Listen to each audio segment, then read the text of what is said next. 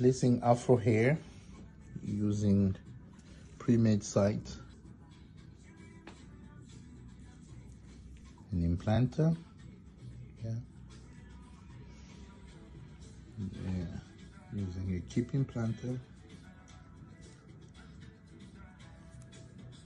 With a forceps in one hand.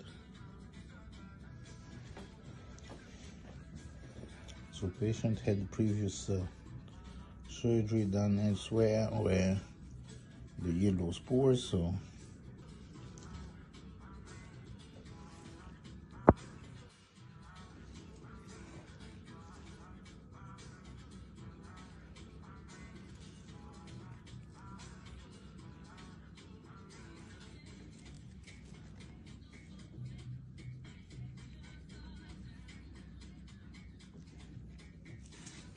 Very good.